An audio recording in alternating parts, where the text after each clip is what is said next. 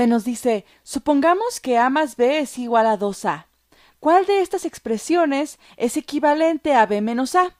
Sería bueno que lo intentaras, que, que pusieras pausa al video y vieras, bueno, si puedes hacerlo. Intenta averiguar cuál de estas expresiones es equivalente a B menos A. Y lo que tienes que hacer es considerar simplemente algunas manipulaciones algebraicas. Entonces, bueno, supongamos también que ya lo hiciste, ahora hagámoslo juntos. Así que A más B es igual a 2A. Lo primero que yo haría es poner todas las A's de un solo lado. Y una manera de hacer eso es, bueno, yo podría restar A de ambos lados.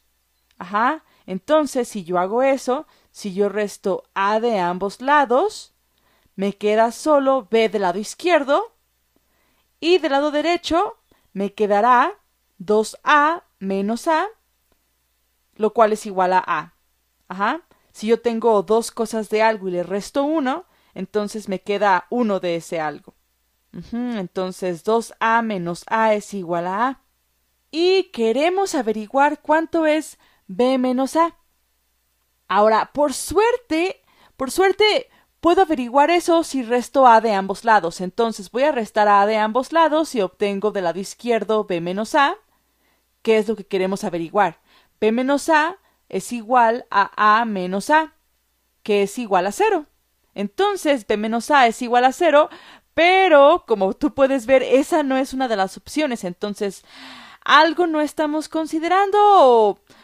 Veamos si podemos averiguar algo, algo más a partir de lo que se nos da. Entonces, dado que esa no es una de las opciones, veamos qué más se puede hacer. Entonces, B menos A es igual a cero, pero esa no es una opción. ¿Habrá alguna otra manera de manipular esto? Podría yo directamente restar 2a de ambos lados si obtenemos nuevamente que b menos a es igual a cero. Entonces, bueno, ahí eso como que no es correcto. Ah, bueno, aquí de hecho, ok, esto es interesante, ya lo vi.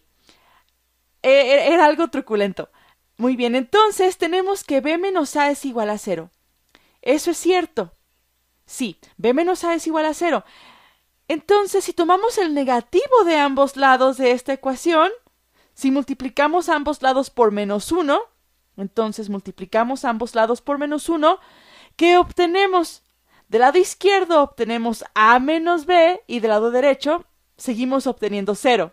Entonces, si b menos a es igual a 0, el negativo de b menos a es a menos b, también es igual a 0. Y aquí está la opción A menos B. Así que bueno, eso estuvo truculento, pero estuvo muy divertido.